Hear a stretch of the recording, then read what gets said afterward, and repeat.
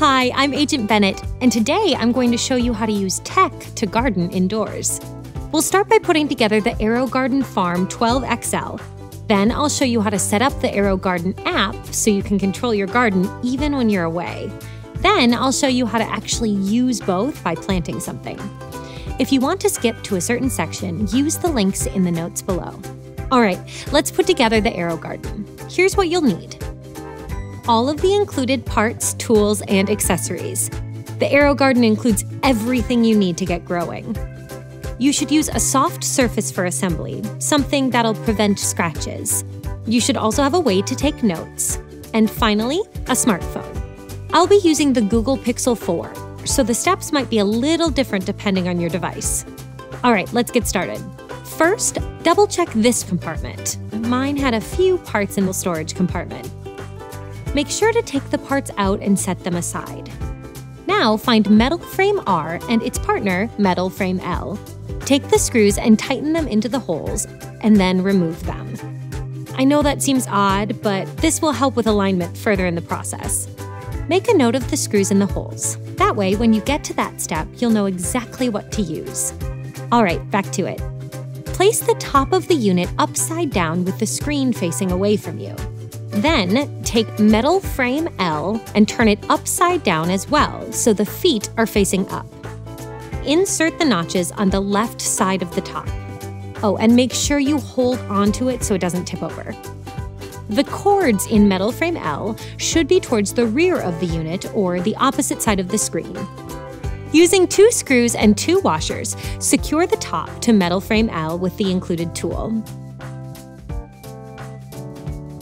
Open the storage compartment on the side of the top to see two more holes.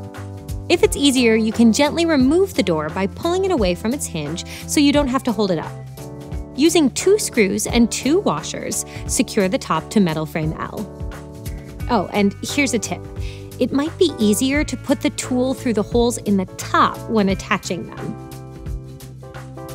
Now, if you removed the door like I did, gently reinstall it. Repeat the same process for metal frame R on the other side. When you're done with that, flip the unit over so it is standing upright on the metal frames. Now, put a metal bar at the bottom between metal frame L and metal frame R. You might have to adjust the metal frames to get the bar in place. Secure it with two screws and two washers. Then, when you're done with that, do the same thing for the next metal bar. Now's a good time to make sure all the screws are tight.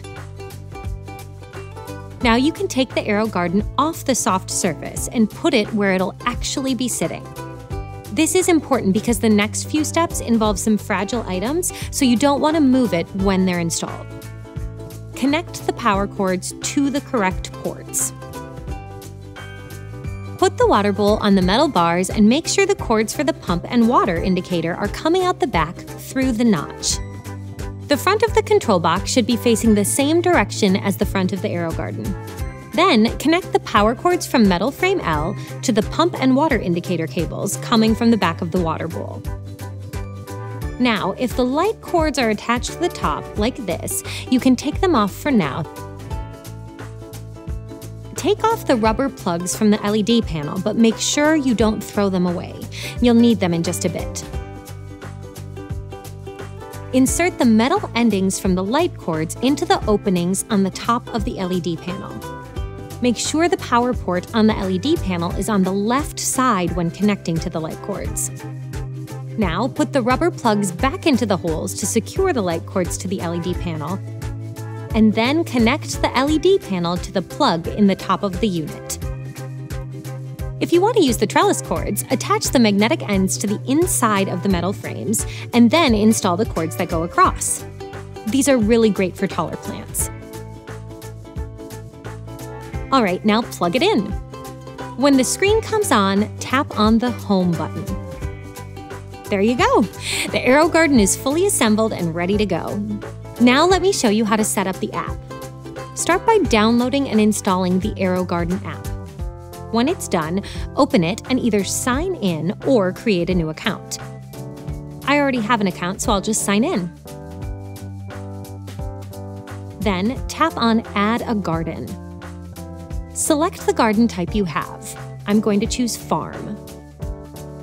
Read through this screen and when you're ready, tap Next. Now it's time to get your Aero Garden connected to your network. This screen will walk you through the steps.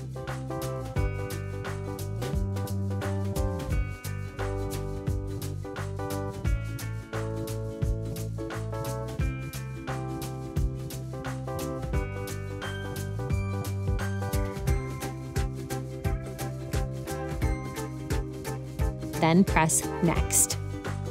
Now we'll link your garden to the app so you can control it anywhere that you have internet. Follow the instructions, starting with scanning the code on your garden.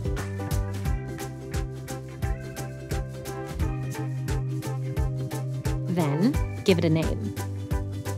I'll call mine Kitchen Farm 12XL. Clever, I know. Then tap on Next.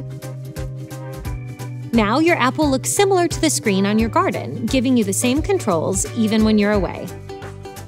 And there you have it. Now let's use the AeroGarden and the app to actually plant something using the Quick Plant option. Tap the menu button, which is right here. Then tap on the Quick Plant option. Read through this screen and when you're ready, tap Next. Set the clock on the garden to sync with your phone, or you can set it manually. I'd rather have it sync, so I'll select Sync Garden to Mobile Device. Tap on the Sync Now button. Then select the type of garden. I'm going to choose herbs. At this point, you might see a screen about previous settings and changes that need to be made for this type of garden. Read through them and, when you're ready, tap Next. This screen is all about optimal lighting. Again, give it a read, and when you're ready, tap Next. If you want to customize the time settings, tap on Change Settings. I'm going to stick with the Optimize Time from AeroGarden and tap on the Settings Correct option. The clock and light are now set, so I'll tap OK. Now let's add some water. First, make sure it's tap or distilled water. Well water or other waters that have been softened could damage your plants. Pour the water into the water bowl through the water port up to the fill line. Then, tap on Next. Now, put the grow pods and any necessary plant spacers into the holes. There's a label on top of the pod that says tall, medium, or short. Put tall and medium plants in the back half, and medium and short plants in the front half. Make sure you don't remove the covers on the grow pods. Now, put a grow dome on top of the pods. These stay on top until plants have sprouted and the leaves are almost touching the dome. Now, tap Next. Then, put the recommended amount of liquid plant food into the water bowl. Tap on Next. Read through the screen and, when you're ready, tap OK. Now you can check on your garden through the app or directly on the AeroGarden screen. You'll get reminders when it's time to add more food or if the water is low, along with other tips for growing your plants. And there you go! Hopefully, this video was helpful. If it was, give it a like. If you have questions, let us know in the comments. And don't forget to subscribe to our channel for more tech tips from Best Buy. Thanks for watching!